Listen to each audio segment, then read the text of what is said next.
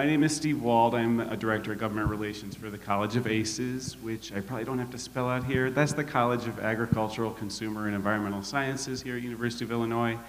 Um, absolutely thrilled to be here, to have the opportunity to sit with this illustrious panel. And I, I think if I understand the history of Ag Tech Week, this is the first time there's been a policy panel, so it's a, a special thrill for me to be um, a part of this. Um, and yeah, just, just to get started, this is a Farm Bill year. Um, technically, last year was a Farm Bill year, and if we really drill down on it, next year may be a Farm Bill year too. um, but uh, for me, as thinking about this panel, um, we're all familiar, many of us are familiar with farm and ag policy, and when it pertains to the Farm Bill, topics like crop insurance and conservation programs come up. But this is Ag Tech Week, and we're, not, we're going to talk about ag tech policy. Uh, the impact of policy on ag tech, on our industries, on our research, um, on the farms, and on the, uh, on the production of food. And that's, that's going to be the focus that we're going to dive into here. So, um, how does policy shape and influence ag tech innovation? Its deployment, its focus, its direction. In what ways do government programs encourage or stifle uh, the ag tech sector? And how does enthusiasm for, or concern, or even fear about new ways of growing food shape policy? Um, we're going to take a dive into those topics over the next half hour. And, but I'm going to get started by introducing this kind of dream team of uh, people representing three sectors industry, government, and academia. And we'll just go down the line here. If you guys want to um, just get us started by introducing yourself, say a little bit about your background and what brought you to what you're doing now, then, then we'll really get into it. Greg? Thank you, Steve. My name is Greg Webb, and I work for ADM. I've been doing that for 37 years, actually. So I really enjoy working with a world class company like ADM. Um, how I got to where I am today, I started out as a grain merchandiser, as many do in our company, and then had the privilege to live and work in several communities. And after spending seven years in Canada, got acclimated to things beyond soybeans because I was in our soybean crushing operation. And when I returned back to the United States in 1999, I was involved in our what we call minor oil seeds canola, sunflower, flax, cottonseed. Not top of mind for a lot of Illinois, Iowa, uh, Indiana farmers that might be in this part of the woods. And what drove me to public policy was for those of you who were involved in the industry in the turn of the century, it was not a pleasant time for agriculture. And for especially minor oilseed producers, it was especially difficult because the Farm Bill, as Steve uh, mentioned early, only kind of covered corn, soya, um, and, and wheat and cotton. And if you were growing some of these other minor oilseed crops, it wasn't a pleasant time as we were wanting to encourage people to still plant. So I got to where I was spending quite a lot of time on public policy trying to encourage and bring visibility that the production of these other seeds is equally important. So one thing led to another. ADM has operations in 34 states. We had no one devoted to public policy in any of the states that we operated. So, so uh, that became an opportunity for me. And while I do miss the uh, profit and loss statements that drive your businesses every month and every year, I am invigorated by the breadth and depth of a company like ADM that gives me opportunities to be involved in lots of different topics. Some things I know something about, and many topics I know very little about. Thanks very much. Lexi. Yeah, hi, um, I'm Aleksi. Uh, I'm here from Washington, D.C., where I work in Congresswoman Nikki Budzinski's office um, as an ag policy advisor. Um, and this is the area she represents, so it's really fun to be here. Um, I got into ag policy actually as a result of, by chance, taking a class with Jonathan, um, so it's fun to sit with him here today. Um, I was a COVID kid in undergrad, and that was the only class offered in person in the whole department, and I thought it would be, you know, why not take it? And now here I am. um, so I, I'm in my first job out of college, so I don't really have a great story of how I got here other than the job came open. I thought, wouldn't it be so cool if I got that job? Um, but I can, you know, speak a little bit to why I like to work in policy, and I think that's because Um, I have a unique role in that most people that talk to me day to day truly and deeply care about what they do. You know, like most people aren't going to fly out to Washington, D.C. to talk to the staff of a member of Congress if they don't really care about that issue. And that's really rewarding. And I think for me, because I get to do agriculture, which is something I was raised in and went to school for twice, is infinitely more rewarding. Um, and I think in a world of increasing polarization, which I don't want to, you know, be dismissive of the fact that that's a real problem, that does not really happen in the ag tech space, and so that's really rewarding as well. Um, I think there's a general consensus, you know, regardless of your ideology, that we want America to be leaders um, in ag innovation, whether that's plant genetics, um, you know, other types of biotech, biomanufacturing, you name it. Um, I think that everybody is, you know, sort of on the same page, and so it's a really great place where we can come together across the aisle and make real change that, you know, might actually someday become law. Um, you know, as Steve said, it's a farm bill year theoretically, and you know, like I laughed because I really wanted to come out to DC, and I was really worried I was going to make it for the 2023 farm bill. and now it's 2024, and no farm bill in sight. Um, but you know, we're still hopeful and, and excited. So thanks, Steve. Jonathan. All right. Uh, good morning. Uh, Jonathan Coppess. I'm an associate professor in the Department of ACE, Agricultural Consumer Economics. However, I am not an economist, so don't hold that against me or expect too much from me. Um, I, uh, well, I made a few wrong turns from my family's farm to here, uh, including a good stint in Washington, D.C., where I got, got to work on a couple farm bills. And out here uh, at the university, then, I teach promising young students like Aleksi, uh, or try not to, you know, mess up their careers and, and goals in life. Um, and I work a lot on agricultural policy. So, in, in particular, you know, the bad writing and awful graphs on Farm Doc Daily that we put out and try to make sense out of, uh, uh, out of the policy realm and the Farm Bill mess, uh, which is a lot of, of what my focus is. I, you know, I came to this, I'd practiced law in Chicago for a while um, before going out to DC and getting involved in, again, kind of what Alexa said, something you're interested in, something you care about and uh, can throw yourself at, you know, sometimes for 20 hours a day as you work through it. And so the, uh, that opportunity was amazing. I, I, encourage students all the time to get some time in DC and get a sense of exactly what you said, which is it's an incredible environment of people who are very passionate about what they work on and put a lot of time into it, even when that work and time isn't producing what we might read about in, the, in, in news uh, as far as the outcomes go. Um, and then out here, like I said, it's been an incredible opportunity to dive deep into some of the history and some of the development around these policies. And a little bit to what Greg was saying, you know, how is it that we come to the, the point in early 2000 where we needed to expand some of these programs and how do we, you know, going back to Stephen, how do we think about ag tech and policy? So I will stop there and hand back over. Thanks for having me up. Again, thrilled to have all you guys here, and we're gonna we're gonna nip into this a little bit, but with just a framing question. I think we're we're all familiar with last century's experience with ag tech, mechanization, synthetic fertilizer, and hybrids combined to increase yields fourfold. Farms grew larger. Uh, the population involved in farming dropped from over 50% to maybe around 2%. Um, is today's ag tech a continuation of those trends, or is it something different? I just want to kind of have you reflect on that a little bit. Let me give you an industry perspective because the first thing that comes to my mind, and partly it's selfish because I spend a lot of time on it, is on decarbonization efforts.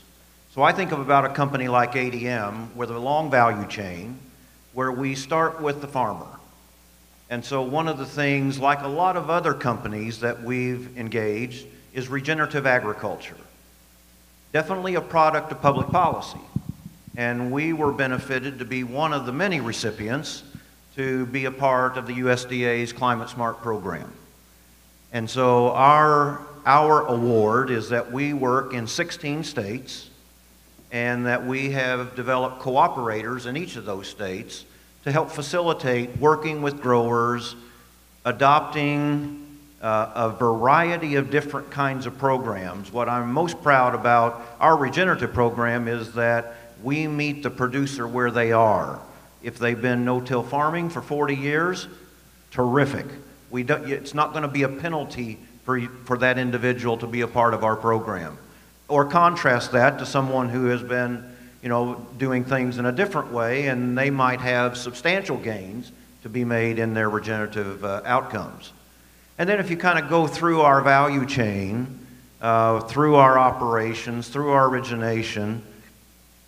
When we get to the end, we are also, uh, for the last more than a decade, we've been capturing the CO2 off of our fermentation stream in our Decatur, Illinois operation. And this was kind of tip of the spear back in 2011, and we were benefited to work with a very fine Illinois State Geologic Survey here, housed at the University of Illinois, now under the auspices of the Prairie Research Institute. But we have a terrific geology in the southern two thirds of Illinois, western Kentucky, and western Indiana that allow for permanent storage of CO2. Billions and billions, if not tens or hundreds of billions, of tons of, of storage for this product. And so our agriculture industry is responding back to this, partly because capturing CO2 off of a fermentation stream of corn that that plant captured while it was growing is a pretty pure stream. It's 99% pure CO2. So really all we're doing is just stripping the water off of the product for permanent injection. And, and so as we think about you know, in our value chain, what can we do to have an impact? Those two bookends kind of feature what we're all about. And just for context, by the way, since 2011, ADM has injected just under 4.5 million metric tons of CO2. And now that we have the Inflation Reduction Act, yet another public policy outcome at the federal level that is providing an emphasis not only on carbon capture and storage, but another prominent feature of that was sustainable aviation fuel. I think what our job is to help people understand that those are interdependent technologies. People get pretty excited about sustainable aviation fuel as an outcome because for our airline industry, that's one of the very few compliance mechanisms available. But the only way from an agricultural perspective that you create a fuel that is SAF eligible, which is at least 50% less of the baseline carbon intensity of the, of the um, petroleum product, is to have carbon capture and storage. And so, for, for many of us who think about these subjects in may, maybe silos, there is an interdependency here that I think is important to understand to help agriculture realize uh, some of this opportunity. Jonathan or Aleksi? Well, I, will try to do this in uh, three points without getting lost in any single rabbit hole. Um, so, I, I, your question about history and this continuation, right? There's a trend. Uh, there's recycling going on here, and there's some new aspects. So, the trend, right, from hundreds of years past, from animal to mechanization to some of the chemical inputs and the, and, and the advancement we've now seen with precision technology. So, that kind of thing continues, a lot of displacing of labor and so forth. The recycling, again, are some of the challenges we see time and again with these advancements in technology. So, whether that's soil erosion or water quality impacts or some of the natural resource concerns and challenges come around it, we recycle and then have to kind of figure out um, how to adapt. I do think uh, something that Greg said that really is probably the new and maybe the biggest risk component of this that policy needs to consider is the impact from climate change and how climate change is going to uh, disrupt and cause whatever issues it's going to cause down the road, where our general trend and some of our recycling may not actually um, repeat as we as we might think. It. So I think those three things kind of play into that history of, of what we've seen and where policy then steps in. Obviously, some of our next set of questions probably, but where, where that can come in and how that can play a role is important. And I can also just speak briefly to the policy side of things. Um, Greg, I think what you talked about with like IRA and sustainable aviation fuel being part of that, um, you know, I think policy is trying to sort of meet the moment, um, but also, you know, be cognizant of the fact that myself and my colleagues are not science professionals. So it can be really difficult to write good policy for, you know, emerging technologies um, and, you know, emerging science. And so that's why conversations like this are always so important is because you know, we can, we can write the CHIPS and Science Act all day long, we can write the Inflation Reduction Act, but if it's not going to actually be useful to the folks who need it, um, then, then that's a problem. And I think we got it right with those two things, but that's not the end of the road. Thank you guys for that. We, I am going to shift gears a little bit now and, and uh, open up another thread here. It, um, it has to do with the driver of those policies and what ends up kind of setting those societal goals alongside the market goals that help drive uh, tech innovation. Um, each year we see bills introduced intended to address an environmental or an ethical or a social concern related to the food system, um, many of which are directly related to technology itself, and some of which call on technology to help meet that goal. Um, from your perspective, and I'd love you to consider where you're situated in the, in the ag food um, innovation ecosystem here. What more can be done uh, to ensure that we strike the appropriate balance between, um, I guess, caution and progress when it comes to technology in the ag sector?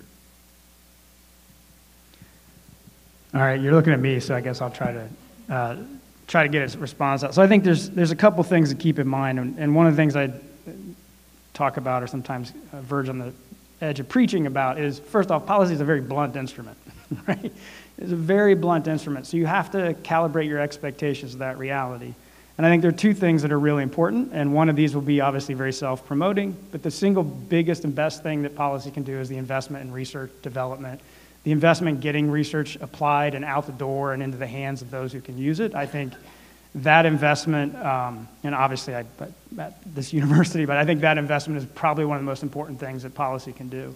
On the flip side of it, I think, again, realizing that it's a blunt instrument with a lot of challenges around it, that the best we can expect, I think, is often that it can um, not get in the way of innovation or at least help foster and encourage innovation and, and I hesitate to even say reward, but really open up that possibility. So if you consider the risks to the innovator, the, the challenge to the farmer taking on new practices and changing what they're doing, like what Greg's talking about with carbon issues and uh, sustainable agricultural challenges, like those, those are big risks in a farming operation, particularly in the first few years.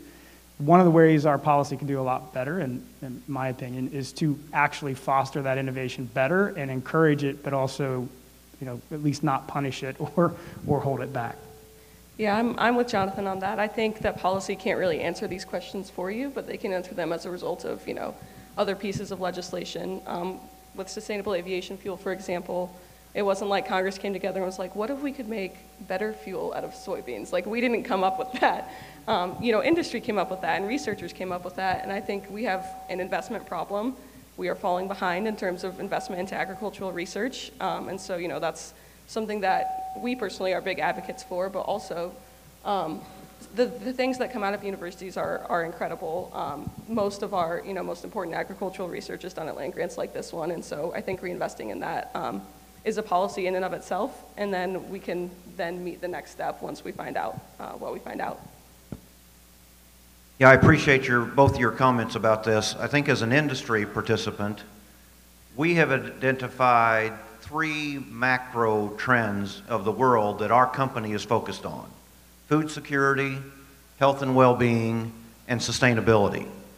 And I think what, how we approach some of the, as, as Jonathan described it, the blunt instrument of policy at sometimes, is that you identify these areas of focus, and as public policy may arise or may get in conflict, you have to be aware of that, but I don't think, you know, industry can wait for policy. I think you have, you have these elements of how you're operating, and then you remain sensitive as things develop. And, you know, the third one I mentioned is sustainability.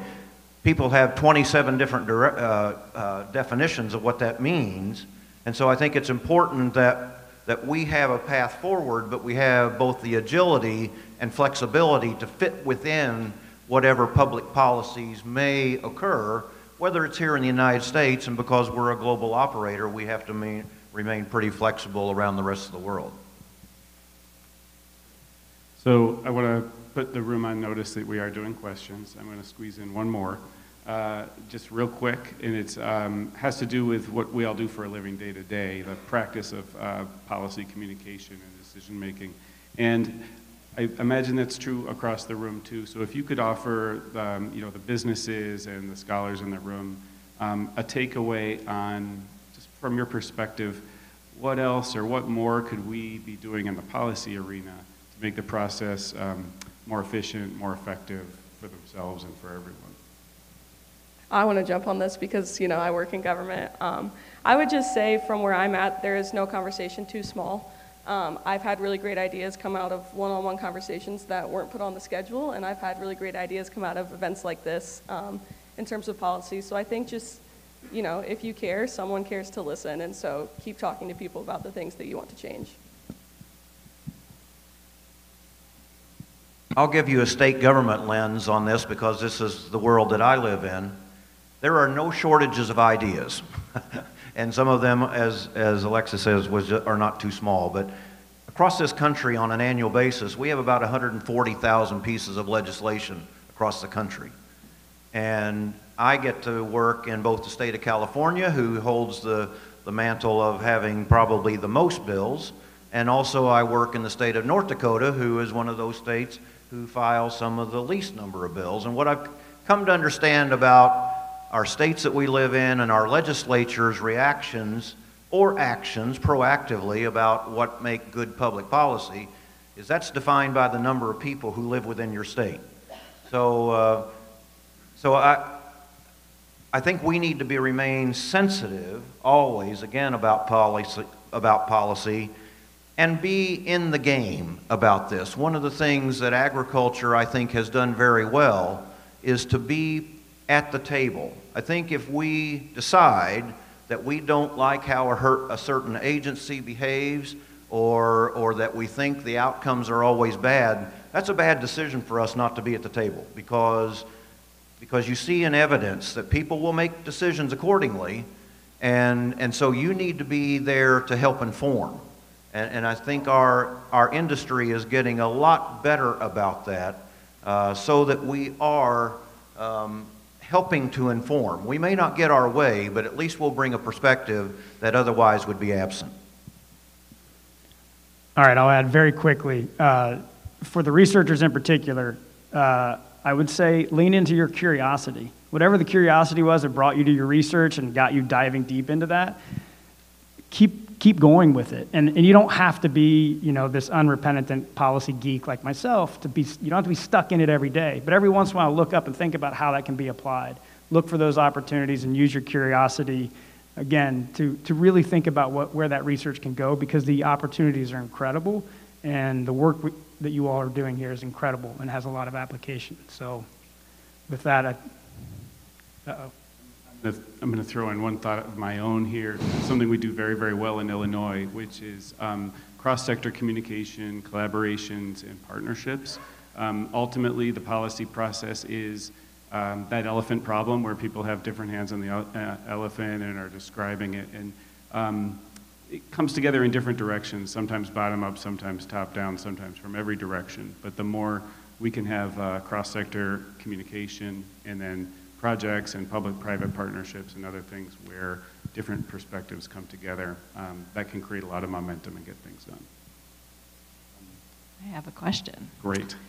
I'm going to aim this at you, Jonathan. Uh, the question is from Bob Coverdell of Air Scout. The over-application of nitrogen on corn is increasingly in the news. A recent report showed that despite growers' efforts, no change in nitrogen runoff into waterways has been realized. Do you think regulation will be required to affect a real reduction of runoff? If yes, what would be the most effective policy? I like, I don't, Bob, I don't know why you're trying to get me in trouble first thing here in the morning. Um, that is an extraordinarily good and incredibly difficult question uh, to answer. Um, so let me try very briefly. Do I think regulation is the pathway on this? I personally hope not, because I don't think regulation is going to be particularly effective, particularly over a long term the size, scope, and scale of this set of challenges. So we have been trying to use the voluntary conservation investment method.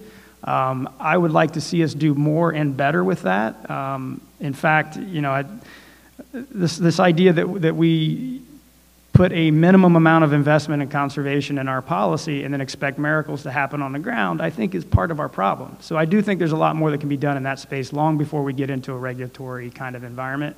It, I just caution on it in general because I think trying to regu regulate uh, in fields across even the state of Illinois would be a massive, massive challenge. Justin? Hi, just a quick question as we're talking about incentivizing funding into these really capital intensive innovation areas. So we think about tech hubs as an example. I think when we originally conceptualized it, it was supposed to be half a billion dollars to communities. Now I believe this one that we're going about to talk about is competing for about 65 million. So there's a huge gap between that and half a billion but also realizing that so much of these chips and science investments require a significant amount of investment at state levels as well. What are your thoughts on sort of galvanizing this level of public sector investment to better incentivize and research? I think you'll hear a good bit about this at the next panel, so I don't want to take away from that at all. Um, but yesterday we had an event celebrating IFAB, and I think the conversation was there's over $600 million of state level investment going into this. Um, and I think that's a testament to how important these investments are, first of all, is that there's so much desire for this that the, you know, the entire sector, every sector across the state has come together to get this across the finish line. But again, I'm not going to take away from that specifically. Um, I think public-private partnerships are something that we should be leveraging more. You know, in the ag space, we have Foundation for Food and Ag Research. We have a fellow at U of I who's a, who's a FFAR fellow. Um, and that program is, I think it's one federal dollar gets uh, a dollar forty cents matched um, from private companies. Um, RCPP is a really important program that ADM is involved in out of the Farm Bill. Um, and I think, I think you speak to a great point that we need to better leverage these because there is interest and there is engagement in them. And if we have a funding problem at the federal level, how do we, how do we solve that, you know, via industry? We'll take one last question from over on the left. Hi, um, this is kind of building on Stephen's last question, but what can companies and researchers in the biotechnology sector do to support ag policy in regards to gene edited crops?